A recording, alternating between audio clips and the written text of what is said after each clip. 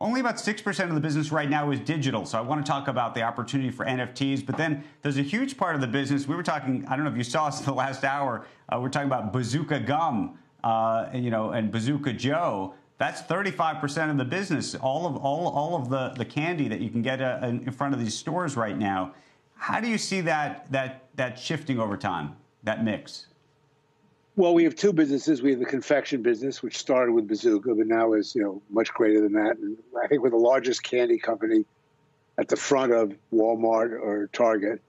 And our sports and entertainment business is just booming. When I, you know, I, I bought the company because I thought it had a great consumer emotional appeal, the way Disney did when I went to Disney. With you know, I went to the parks. I grew up. I took my kids to the parks. Everybody I talked to had remembered their Topps uh, cards. Their mother threw away the cards that were under their bed in a box. Their brother put it in the wheels of their tire. There was this emotional uh, feeling, so that's why I bought it. We bought it as an analog company with the goal of making it digital. And over the course of the 14 years we've owned it, we're now about 25% digital. However, the digital is growing really fast. It's instant uh, uh, gratification instantly we upgrade at every turn of the bats the statistics. And now with blockchain, we're going to be able to participate in the secondary market before we only participated when we put the analog cards out. Now the cards, the as you said, the uh, the cardboard cards are still extremely popular. We appeal to kids. The digital cards are very popular. We appeal to teenagers and young adults. And blockchain, you know, we think will appeal to everybody. But what we did when we decided to do this deal, we blockchain had not exploded. We've been playing in the field of blockchain for the last year and a half. But the explosion came after we made this decision. We did not make the decision for that reason. And it is not really in our economics, although we think it'll be fantastic. So we don't have future uh, licenses in our projections. We don't have blockchain in our projections. We're running the company as a real company. And this is the icing on the cake going digital completely with the analog still in place. You know, we have strong earnings, we have a great management team. I think uh, we have a similar management team that I had at Disney. And if you look around, so many of the companies are run by Disney alumni. And I will say uh, that uh, we're very happy to have Jason because now we have a real serious financial executive who helps us in all the various things we need help with. Michael, to just speak oh, by the way, the, uh, a little. go ahead.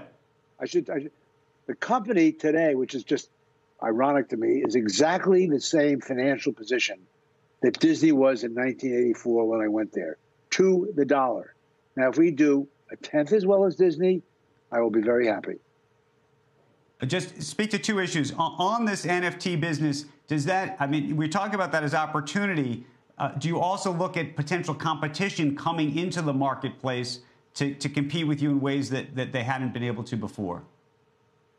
Well, there's always competition, but we have the relationship with, for instance, Major League Baseball or the Bundesliga in Germany or with UEFA, the Champions League all through Europe. We're growing internationally tremendously. And I think the consumer wants to see the players in their uniform of their exact team they want to see the marks of like MLB marks.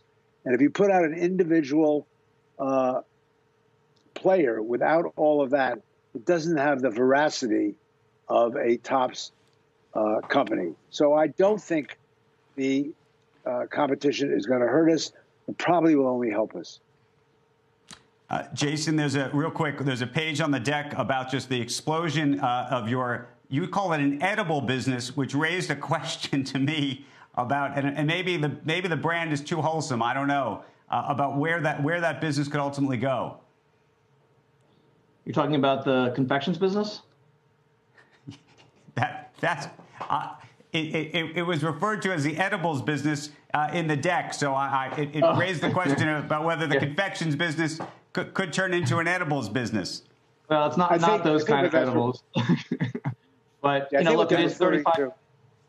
It, it, it is 35% of the business and provides a very steady stream of cash flow, which is which will be great for this business going forward. Shepard Smith here. Thanks for watching CNBC. on YouTube.